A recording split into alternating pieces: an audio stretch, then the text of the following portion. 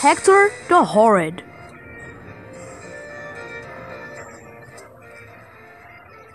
Thomas the Tank Engine enjoys shunting troublesome trucks. He can biff them harder and faster than any, any other engine. It's one of his favorite jobs. One morning, Sir Topham Hatt had an important announcement. James and Edward must make extra deliveries of coal. Thomas, you must shut and fill freight cars at the coaling plant. James and Edward must collect them this afternoon. Thomas was very pleased.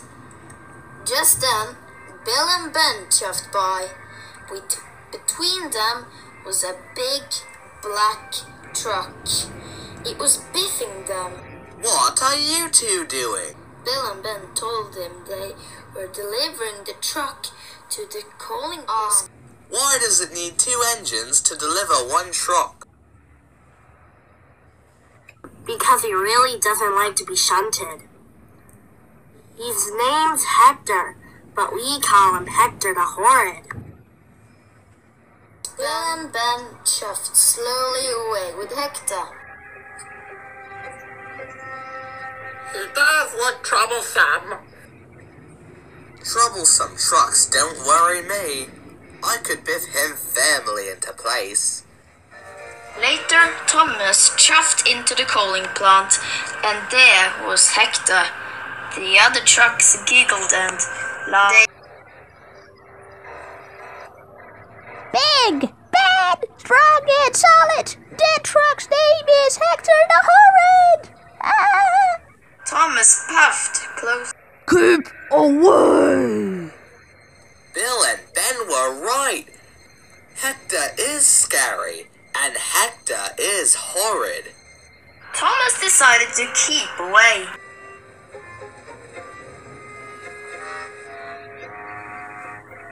Thomas spent the morning shunting the other trucks and filling them with coal. All the time, Thomas could feel Hector, the horrid, was watching him. The coaling plant manager came to see. We need an extra large delivery, so Rosie is coming to help you. You must shunt and fill Hector, then add him to the back of James's train. Later, Rosie puffed into the yard. She saw Hector. Wow, do we have to shunt and fill that big truck, Thomas? Yes, but he doesn't want to be shunted.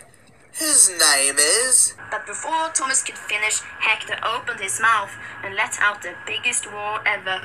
Keep away. Rosie was so surprised she shocked from funnel to footplate Oh. and she steamed straight out of the coaling plant. This made Thomas cross. Hector had biffed and bashed Bill and Ben. He had shouted at Thomas and he had frightened Rosie so much that she had puffed away. Now the extra delivery would never be ready. Thomas had had enough. He puffed up bravely in front of Hector and gave him a mighty biff. Hector rolled backwards. He was very cross. Keep away. You are causing confusion and delay. You really are horrid. Then, with a mighty biff, Thomas sent Hector rolling backwards into a set of buffers. Hector crashed off the track. Thomas felt very bad. He hadn't meant to knock Hector over. Thomas puffed up to Hector. Hector lay on his side, looking very sad. Now Hector didn't seem worried. I'm sorry I biffed you so hard, but why don't you want to be shunted?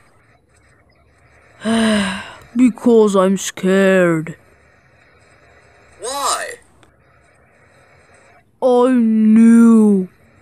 And I haven't been filled with coal before. I don't know what it feels like. That's why I didn't want to be shunted. Thomas was surprised. Later, Rocky and the workmen arrived and lifted Hector back onto the track. Thomas wanted to help Hector. Sometimes I'm scared when I have to do something new, but coal isn't scary. Hector was watched as Thomas rolled under the coal hopper. Black and dusty coal poured into Thomas's coal box. When the dust settled, Hector saw that Thomas was smiling. See? It's not scary. Now Hector was excited. I'd like to be filled with coal too. We must hurry. Thomas pulled Hector quickly under the coal hopper. Hector was quickly filled with coal. It felt wonderful. Then Thomas shunted Hector into place just in time. James and Edward puffed into the yard. They saw the waiting trains. James was very surprised to see Hector at the back.